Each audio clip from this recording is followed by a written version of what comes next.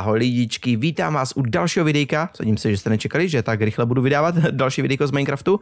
No, nicméně mám tady pro vás další pokračování, další díl a dneska se budeme dívat na tady tuhle tu parádní knihovnu, co jsem postavil, což bych řekl, že asi jedna z nejlepších budov, co jsem kdy postavil v Minecraftu.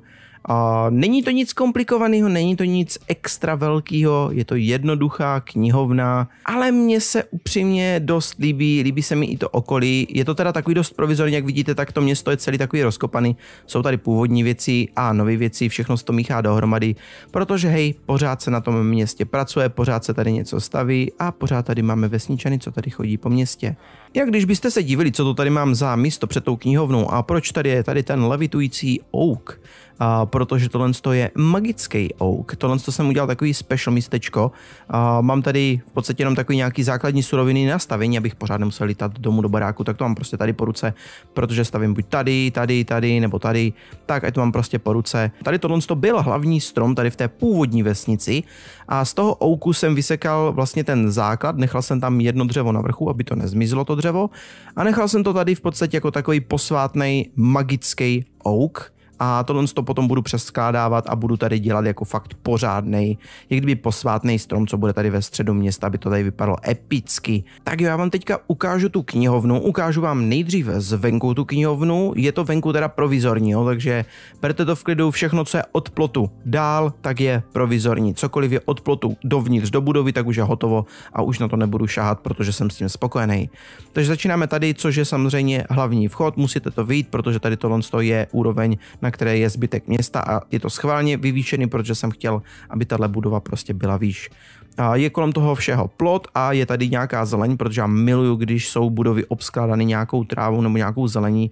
A mimochodem, kdybyste hodně chtěli, tak můžete jít tady si natrhat nějaký borůvky takže z každé strany to má nějakou zeleň, vidíte tam, že tam jsou i nějaký vlastně na té stěně. Jinak ty cesty, co tady mám hotové, jsou velice jednoduché, jsou to tři bloky široké cesty, jsou vykopany, protože tady tenhle povrch vlastně vesničení preferují pro pohyb a záměrně to tak dělám, aby tohle to byly takové jak kdyby silnice předdefinované pro ty vesničany, ať po nich můžou chodit a tady tyhle ty lampy, to uvidíte v podstatě přes celé město, tohle je jednoduchý design, který mě se líbí. A, takže venku to vypadá tady tak, je to kompletně celý obrostlý, z každé strany to má prostě takové, kdyby kopeček s nějakýma věcma a jak vidíte, tak je tady hromada golemů, co tady prostě chodí kolem. A potom venku tady máme pokračování, tady vidíte opět nějaký pěkný liány, si myslím, že vypadá úplně parádně. Tady potom máte vlastně knihovníka a to je jeho hlavní místo, to je ta věž, kde je knihovna. Tady máme opět uh, golema, co tady chilluje, tohle je vyloženě takový chillovací místo, jo, tohle je myšleno jako zahrádka, kam si prostě lidi můžou přijít, půjčí si knížku tady v knihovně, tady si přijdou prostě, sednou si tady, jo, sednou si, vyčilujou, mají tady studánku, můžou se napít čisté vody, jo, mají tady prostě takový pěkný chillovací soukromý místo. Tak to by bylo venek té knihovny, mrkem teďka dovnitř, je to velice jednoduchý, jsou tady double dveře a tady takový prostor je to schválně. Před normálně, když někdo přijde si třeba vypůjčit knížku, tak prostě přijde sem a počká, než knihovník k němu přijde a něco mu donese. Jo, normálně by vesničaní neměli chodit za tady tuhle tu bránu, protože tady tohle je prostor, který je určený jenom pro knihovníky a budou tady tři knihovníci. Teď je tady jeden, budou tady potom tři a tady ten vnitřní prostor je myšlený jen a pouze pro knihovníky a samozřejmě pro mě. A když někdo bude chtít půjčit nějakou knížku, tak si prostě přijde sem, tady si může sednout, než mu knihovník něco najde, tady je potom výdejní pultík a v podstatě ten člověk přijde, řekne knihovníkovi, hej, chci půjčit nějakou knihu, tady si třeba sedne, než mu to knihovník najde a pak si může vzít. Takže velice easy a je to záměrně udělané, protože samozřejmě tohle je naše super knihovna, tohle je hlavní knihovna tohohle města, kde budou všechny důležité texty uschované, takže samozřejmě důležité, aby to bylo v bezpečí, aby se lidi v tom nehrabali se svýma špinavýma mastnýma prstama a podobně, proto je to uzavřený. Takže tady už vidíme knihovníka, jak valí na svoji pracovní pozici, kde bude pracovat. Já vám to ukážu pěkně z vrchu. Tady tohle je takový místečko, kde má knihovník postel. Mají samozřejmě tři postele, protože říkám, budou tady tři knihovníci. Takže tohle je taková jejich spací místnost, takový vlastně, kde si můžou něco schovat. Jinak je to všechno. Já jsem nechtěl dávat nic semka, protože oni pak na to ti dacani skáčou a potom tady padají dolů, takže já jsem tady nechtěl schválně nic dávat, protože oni když potom padají dolů, tak si samozřejmě ubližou a nechci, aby mi zdechli jenom protože jsou blbí. Vidíte? Jo? Vidíte? Vidíte? To je přesně ono. Typek hardcore parkour skáče na knihovny.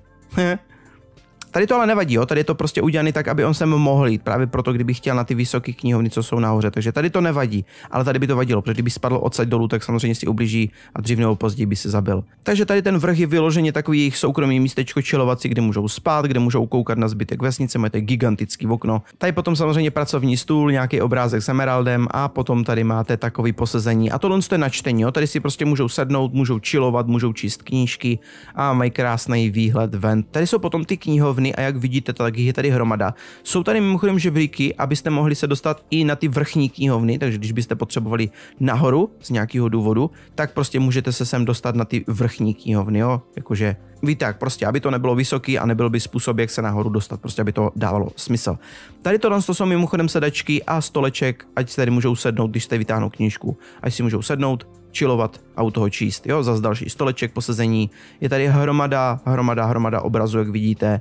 Na vrchu jsou taky nějaké obrazy. Aby to prostě vypadalo dobře, aby to vypadalo zabydleně, útulně, aby to prostě bylo sympaticky. Tady jsou mimochodem hodiny, abyste viděli, kolik je hodin, což je celkem důležité, takže knihovník tady má hodiny, což je jeden z mála lidí ve vesnici, který bude mít eh, jako uvnitř funkční hodiny. Tady tohle je potom jeho pracovní místo, kdy tady tohle je jeho pultík, tady potom bude druhý, tady potom bude třetí a to je taková věž, máte tady na vrchu další knihovnu, tady máte nějaké kitky, a tady tohle je potom jeho místo, kde pracuje. A mimochodem ta nabídka těch věcí, co on má, úplně luxusní. Podívejte se na to, opět vyléčený, samozřejmě jak jinak, vyléčený zombie vesničan, takže samozřejmě trady extra, extra, extra kvalitní. Tady máme Inksak, jeden za Emerald, tady máme knihu jednu za Emerald, za tři dostanete knihovnu, já často kupuju lucerny, protože železa sice mám trochu, ale nechce se mi mrhat železem za lucerny, tak to prostě kupuju za ty emeraldy. A kupuju sklo, který potom rozložím na skleněné tabule a ty potom prodám vedle kartografovi, co je hned vedle. Samozřejmě je tady name tag, což je jedna z těch nejdůležitějších věcí, proč jsem si tady toho knihovníka pořídil tak brzo. A potom úplně, ale úplně nejdůležitější věc je ta první věc a to je ta kniha. Mending. Mending za jednu knihu a jeden emerald. Luxusní trade. Tohle je naprosto fantastický, fantastický trade. A poslední věc, kterou jsem ještě nezmínil, tak samozřejmě jsou ty uh, závěsny světla. Na vrchu máte nějaký pavučinky, protože to je tak vysoko, že tam nikdo nedosáhne, nemůže to vyčistit.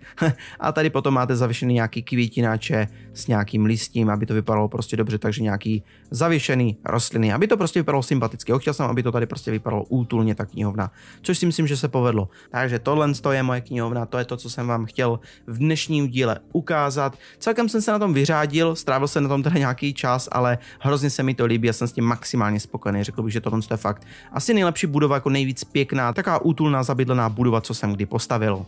Jinak samozřejmě dejte mi vědět dolů do komentářů, jak se vám tohle videjko líbilo. Mějte se fajn, uvidíme se třeba zase příště u dalšího a do té doby ahoj.